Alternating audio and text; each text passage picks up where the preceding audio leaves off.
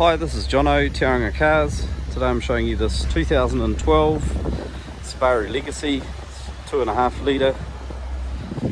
It's a chain driven motor.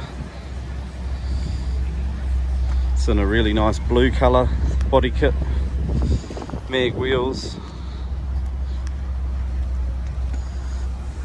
It's got cruise radar cruise control. Nice half leather trim seats, done 128,000 Ks this one. It's really, really tidy inside. The back seats don't look like they've been used.